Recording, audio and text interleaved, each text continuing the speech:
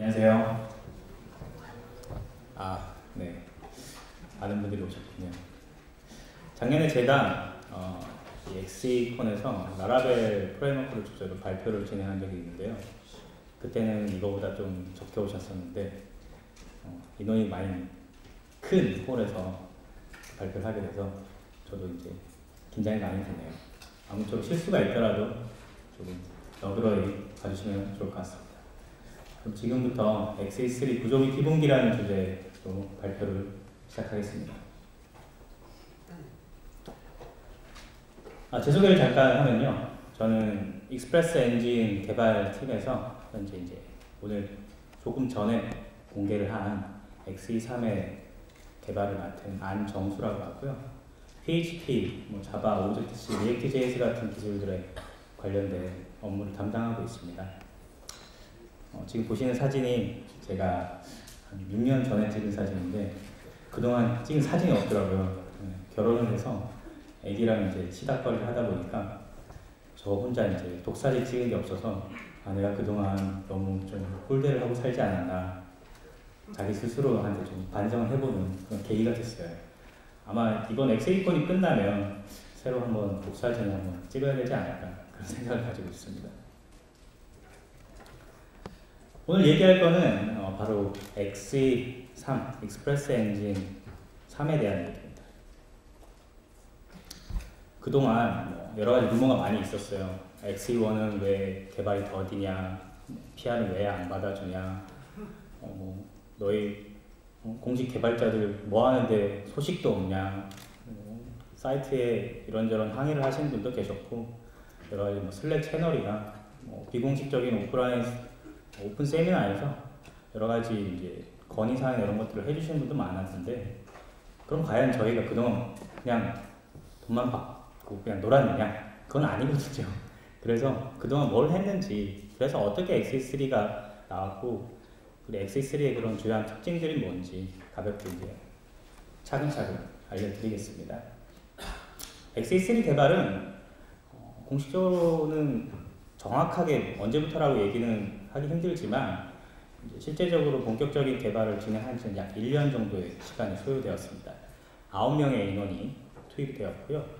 그 결과물로 현재 약 600여 개의 파일에 7만 라인의 코드가 생산되었습니다. 1년 동안 9명이 총 7만 라인의 코드를 작성한 거죠.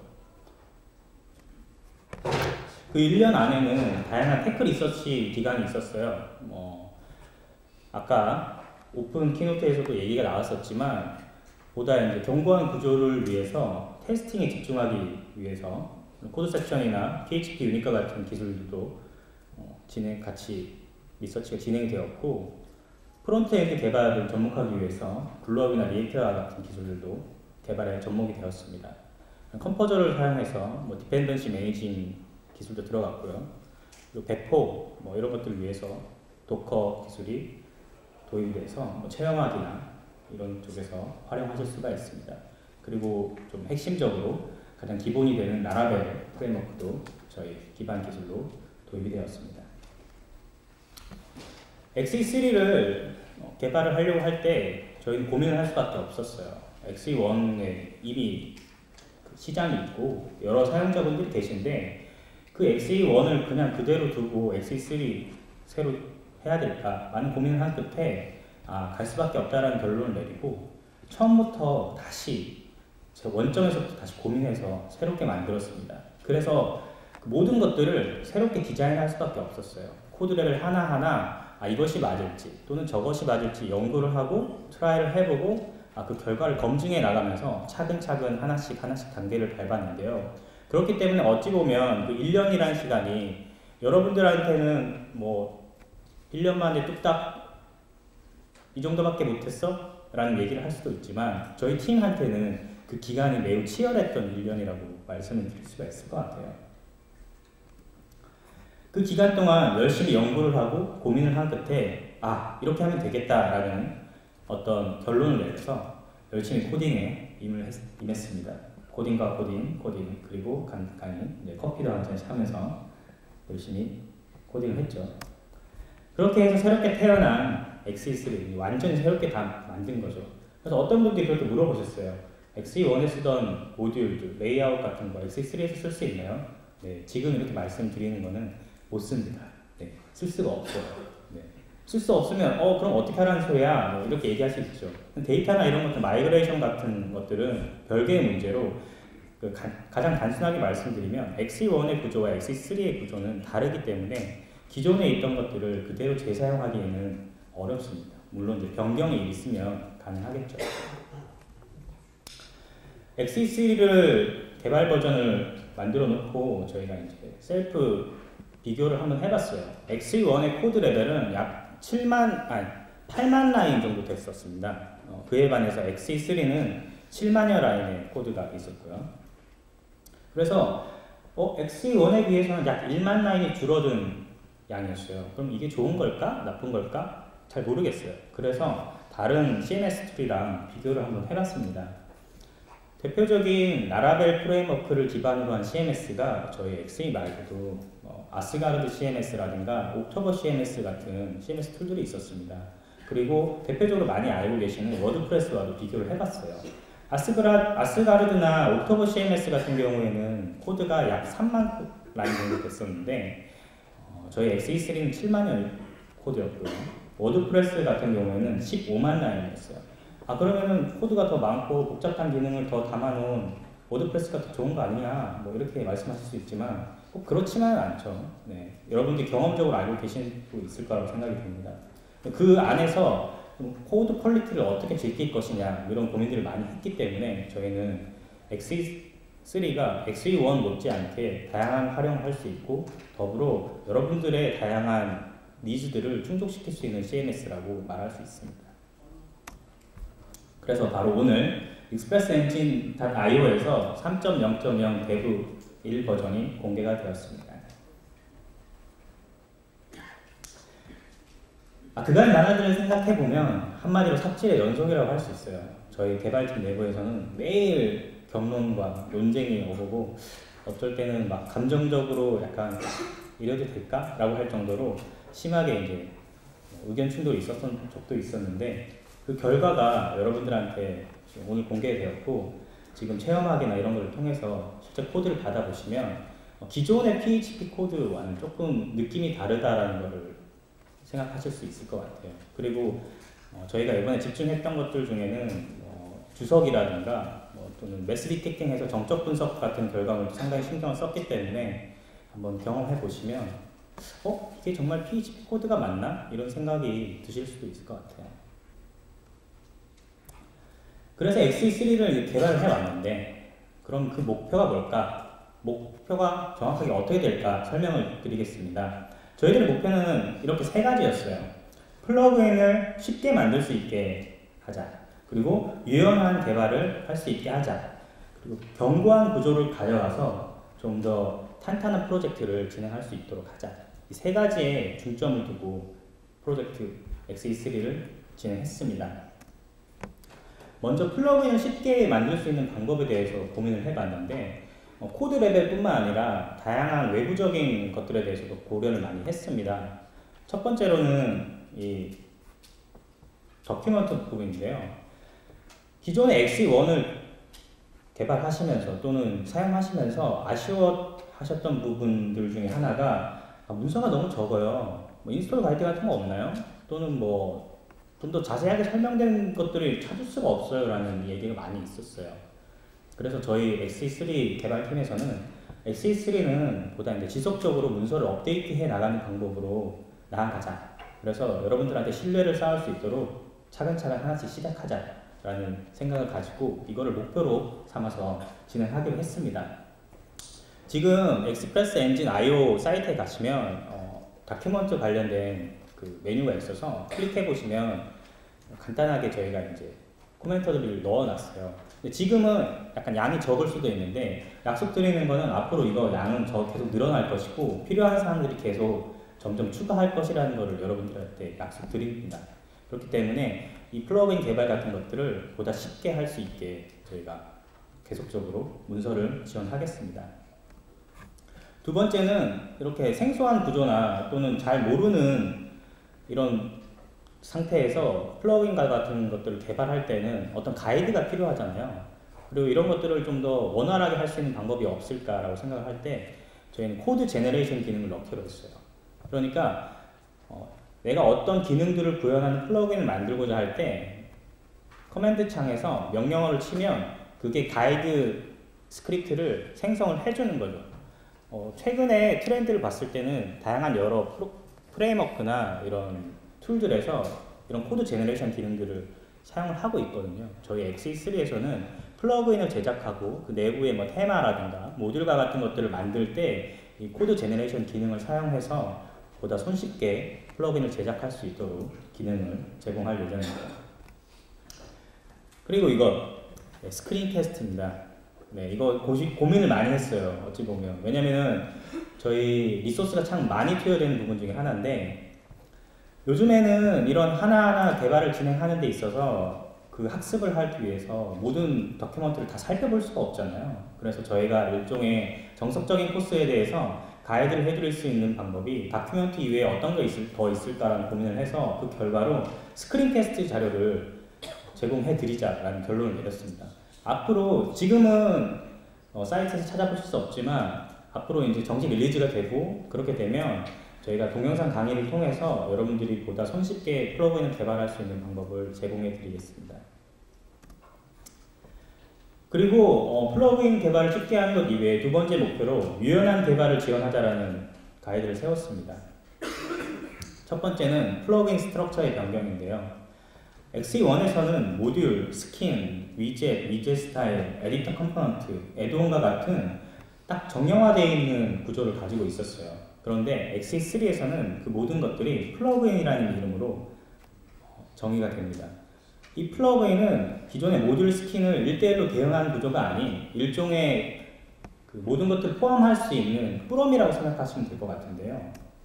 이 플러그인 안에 모듈도 들어갈 수 있고 스킨도 들어갈 수 있고 뭐 위젯이나 테마 같은 것도 들어갈 수도 있습니다.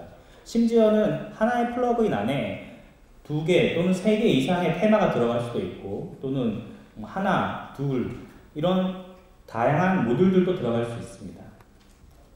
이런 구조는 어, 다음 세션에 이어지는 플러그인 제작과 관련된 어, 트랙에서 여러분들이 보다 깊게 세미나를 들을 수 있을 수가 있습니다.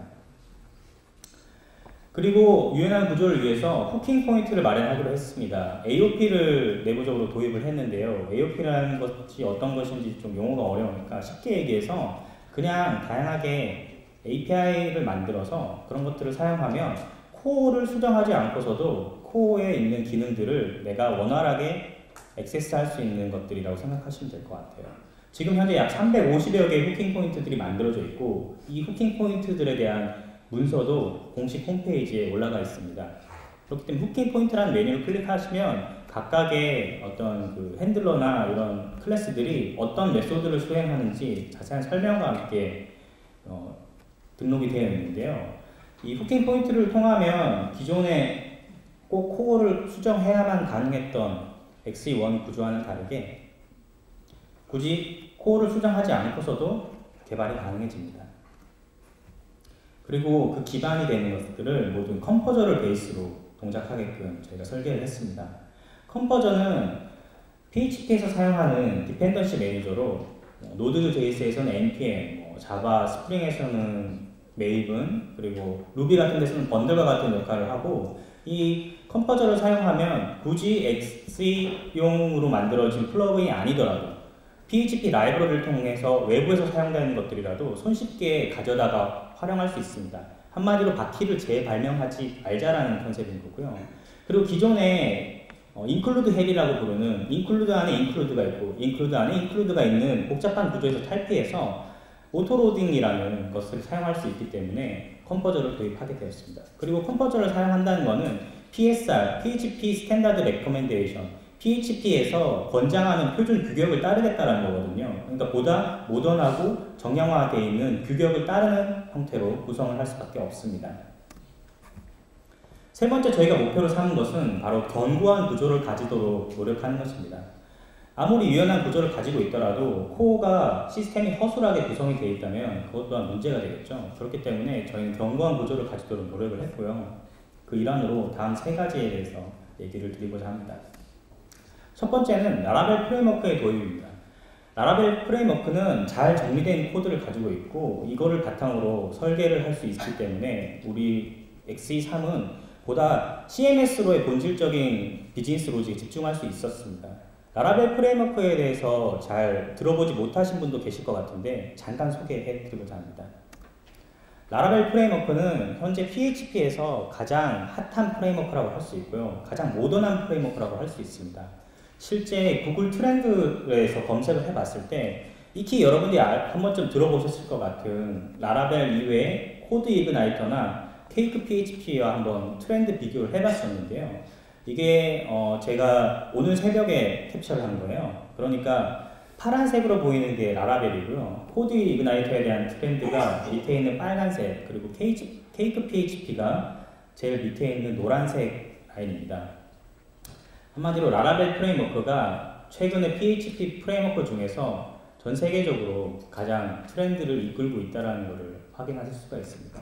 근데 이것만 가지고서는 좀 알 수가 없어서 하나 더 첨부해 봤습니다. GitHub 랭크인데요.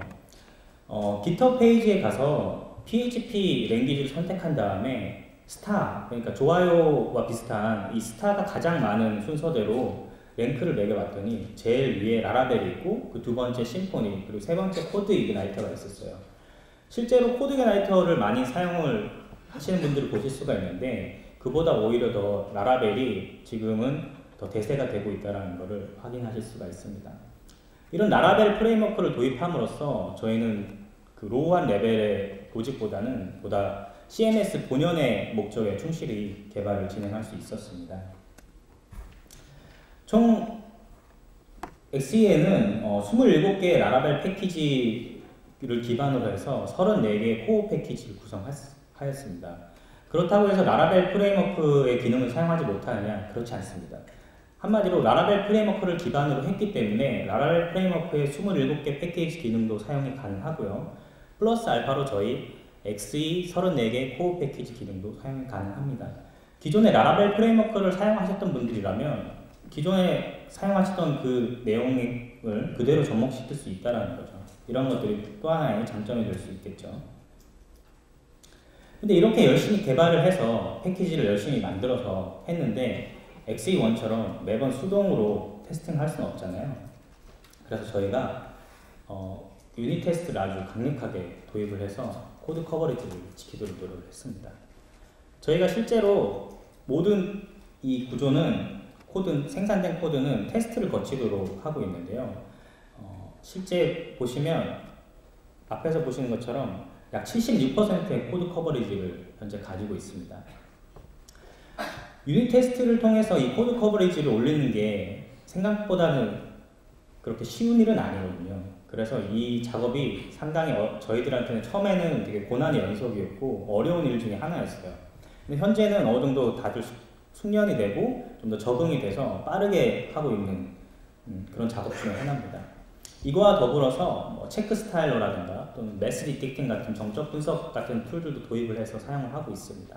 한마디로 여러분들한테 보여드리는 코드는 저희가 내부적으로 검증을 하고 테스트를 완료한 상태의 코드를 보여드리겠다는 겁니다. 이렇게 함으로써 보다 견고한 구조를 유지시킬 수 있도록 저희가 계속 노력할 예정입니다. 그러면 일단 뭐 거두절미하고 여기까지 설명을 했는데 한번 빠져보겠습니다. 시연을 하기 위해서 어 지금 보시는 것처럼 이 사이트에 가볼 건데요. 저희 공식 홈페이지인데 여기 설치하기 가이드가 나와 있습니다. 여기 보시는 것처럼 이렇게 차근차근 따라 하시면 어, 설치가 가능한데요. 직접 한번 해보겠습니다.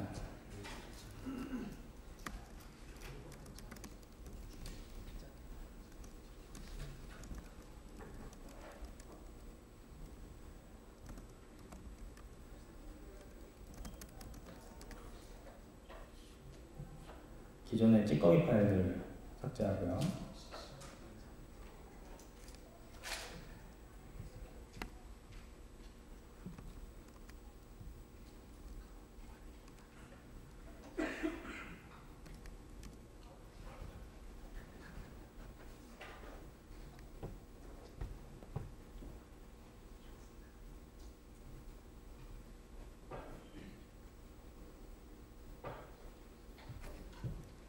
파일을 다운로드 중인데요.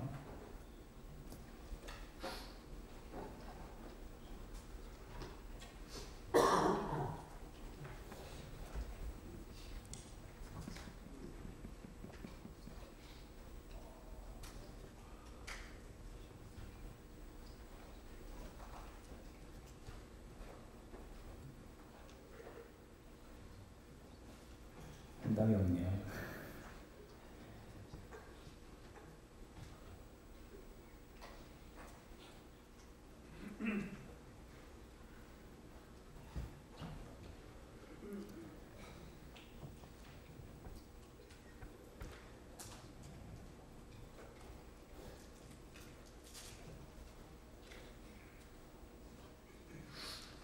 접속자분들이 많으신지 네, 인터넷 속도가 느리고 있, 느려져 있습니다.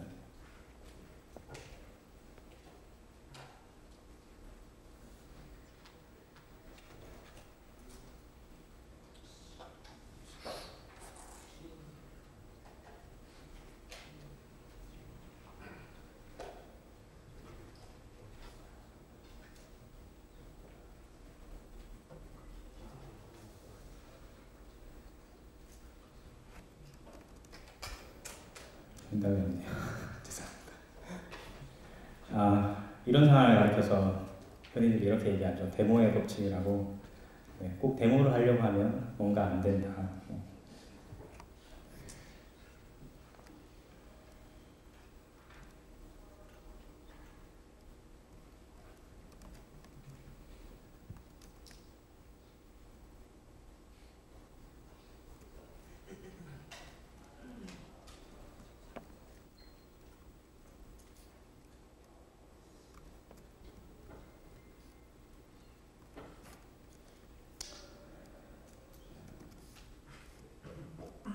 다운로드가 지금 원활하게 진행되지 않는 관계로 네, 잠깐 skip을 하고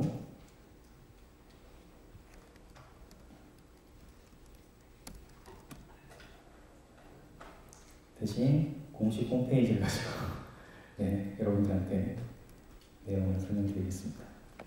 좀 위험한 네, 작업이죠. 설치를 하시면 이런 사이트 화면을 보실 수가 있어요. 저희가 이제 앨리스 테마라고 해서 네, 앨리스라는 이름을 가진 테마를 기본적으로 넣어놨는데요. 네, 보시는 화면이 바로 저희 XpressEngine 3.0.0 개발 버전을 구성하시면 이렇게 보실 수가 있습니다. 어, 이 XE 3. 버전을 설치를 하기 위해서는 어, requirement가 있는데요. PHP 5.5.9 이상, OpenSSL, PDO, mbstring, 그리고 토커나이저 PHP 익스텐션이 필요로 합니다. 여러분들이 여기서 어, 좀 핵심적으로 보셔야 될 거는 PHP 5.5.9라는 거죠. 아마 hosting이나 이런 걸로 사용하시면 아마 5.5점대를 지원하지 않는 것도 지금 많이 있는데 저희는 기본적으로 5.5.9 이상을 필요로 합니다. 그렇기 때문에 버전 관련해서 애로사항이 있으실 수도 있는데 지금 현재 공식적으로 PHP 버전이 5.4 버전이 지원이 끝났어요. 보안 패치 지원까지. 그렇기 때문에 5.5도 내년까지 보안 패치 지원만 이루어지고 bug fix나 이런 건 이루어지고 있지 않거든요. 그렇기 때문에 여러분들이 최소한 5.5점대는 사용하셔야 보안이나 이런 위협에서 조금 더 안전하게 사용하실 수가 있습니다. 그래서 이 그 공식 홈페이지 같은 아니 죄송합니다. 어, 이렇게 설치를 해보시면 그 안에 이제 핵심적으로 알고 가셔야 될 것들이 있는데요. 바로 어, 관리자 어드민에 관련된 내용인데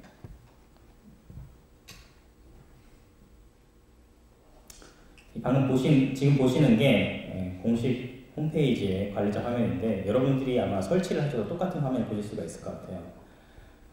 설치를 하면 이 대시보드가 있고 system information 관련된 내용들이 나오고 어, 그리고 여기 이제 현재 등록되어 있는 document와 뭐 코멘트와 뭐 가입되어 있는 회원 같은 것들이 나오고요. storage 사용량은 현재 지금 등록된 게 없어서 나오지 않고 있는 상태입니다.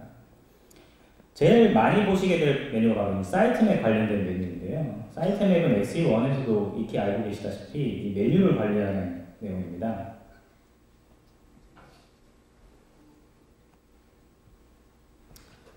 보시는 것 같은 이 화면과 같은데요.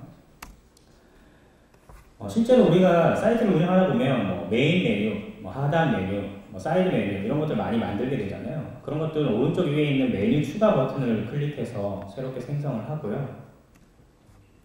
게시판이나 페이지를 추가하는 경우에 뭐 방금 얘기한 메인 메뉴나 하단 메뉴 오른쪽에 위치한 아이템 추가 버튼을 누르면 새롭게 게시판을 추가하거나 페이지를 추가하거나 하는 작업들을 수행하실 수가 있습니다. 그리고 이제 보시는 것처럼 홈 아이콘이 있어요. 홈 아이콘은 파란색으로 표현된 거는 저게 아 지금 홈으로 설정되어 있는 거구나 라는 걸 알 수 있고 지금 밑에 회색으로 보이시죠? 회색은 어, 지금 설치가 아, 설, 홈으로 설정이 안 되어 있는데 내가 그거를 설정하겠다라고 하면 그걸 클릭을 하시면 됩니다. 그리고 XE를 설치를 하시면 XE3 설치하면 관리자 화면 안에 자주 보시게 될 것 중에 하나가 바로 plugin 관리 요소인데요. 이 plugin에서는 다양한 요소들을 포함하고 있는 것을 보실 수가 있어요.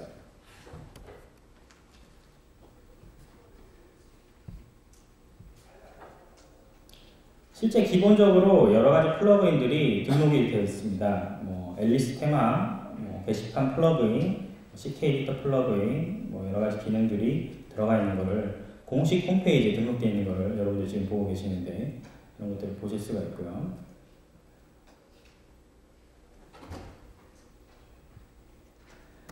이 plugin을 조금 더 설명을 드리면 아까 말씀드렸다시피 plugin은 기존 XE1과 다르게 모듈이나 레이아웃과 1대1 대응되는 것이 아니라 그 안에 다양한 요소들을 포함할 수 있는 폼이라는 거거든요.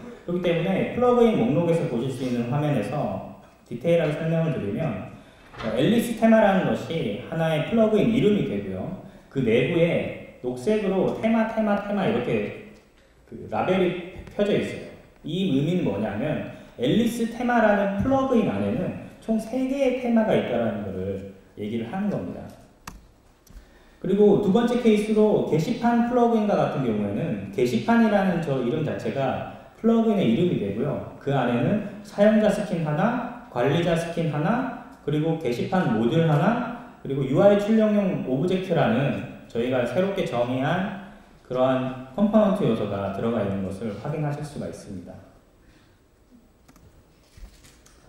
그래서 이런 것들을 이렇게 말로만 설명드리면 뭐 감이 안 잡힐 수가 있잖아요. 그래서 저희 이제 12월 12일 날 XE3에서 오픈 세미나를 진행할 예정입니다. 그동안 저희가 체험하기나 여러 가지 경로를 통해서 제공해드린 것들을 사용해 보시고 어, 이날 또 오셔가지고 궁금한 사항이나 이런 것들을 질문해 주시면 좋을 것 같다는 생각입니다. 스크린 캐스트는 어, 공식 문서와 더불어 조금 더 계속 업데이트해 나갈 예정인데 지금 현재는 공식 문서만 올라가 있는 상태고요. 공식 문서의 보완과 더불어 준비가 되는 대로 차근차근 하나씩 소개를 해드리겠습니다. 패키지스트.expressengine.io 일종의 plugin 그 자료실과 같은 기능인데 현재 공식 홈페이지에서는 준비 중입니다. 내년 초에 오픈할 거를 예상을 하고 있는데 조금 더 잘 진행이 되면 올해가 가기 전에도 소개해 드릴 수 있을 것 같아요. 저희 release plan입니다. 현재는 Dev 1 버전이고요. 어, 다음으로는 Dev 2, Dev 3가 계속 진행될 예정입니다. 어, 2016년 1월에는 RC1이 나갈 예정이고 상반기 중으로 정식 release가 예정되어 있습니다.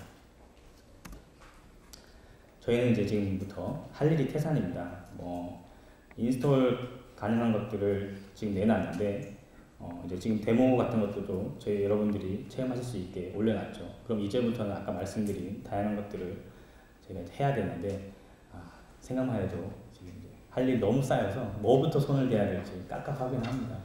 지금 어제도 그리고 그제도 저희 내부팀은 거의 철야하다시피 해가지고 지금도 제가 지금 서 있는 게 맞는 건지 누워 있는 건지 꿈속을 헤매고 있는 건지 예, 잘 모르고 있 모르겠어요. 네. 아무튼 이렇게 여러분들한테 소개해드릴 수 있는 걸 더불어서 많은 것들을 준비 중에 있으니까 어, 저희가 많이 좀 미흡하더라도 조금씩 하나하나씩 양해해 주시면서 봐주시면 좋을 것 같습니다. 저희 이 XE3가 2016년에 PHP 7이 출시하고 나서 변경된 어, 또는 변화하는 그런 PHP 환경에 어느 정도 좋은 생태계의 기여가 되면 좋겠고 또 여러분들이 사용하고 계시는 그런 시스템이나 프로젝트에 좀 더 좋은 영향을 끼칠 수 있으면 좋겠다는 바람을 가지고 있습니다. 저희 XE는 여러분과 함께 언제나 계속 달리고 있습니다. 네, 네 이상 발표 마치겠습니다. 감사합니다.